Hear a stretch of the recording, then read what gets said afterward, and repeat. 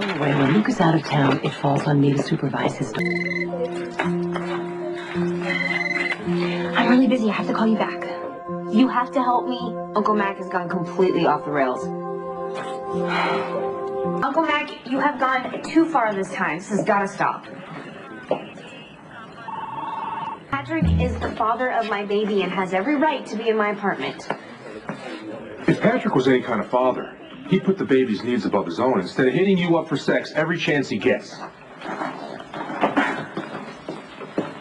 Patrick and Robin want to have sex in every corner of her apartment.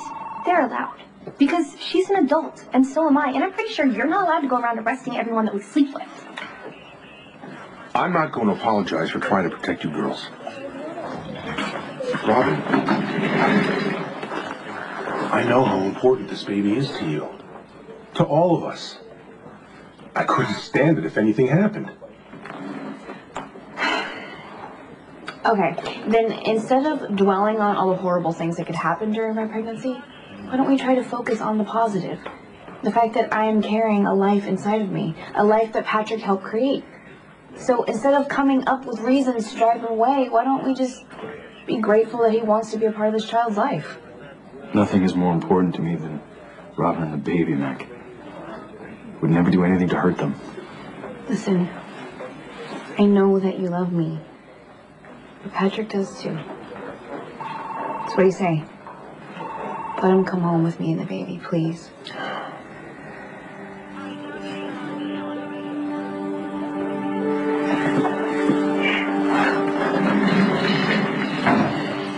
Fine, you're free to go.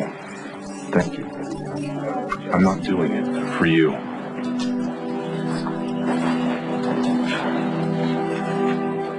Do you need anything else?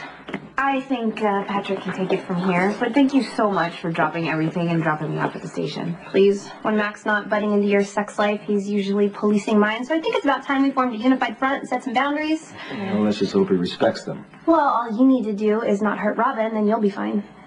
Oh, now you sound like him. He has every right to be worried. You're having a baby with a guy who's practically slept with the entire hospital. Operative word being slept, as in past tense, Maxie. I'm committed to Robin now. Oh, that's good. Because the worst thing you could do to Robin or this baby is make promises that you can't keep. Call me. Thank you. What a perfect day for a swim. I guess we all have the same idea.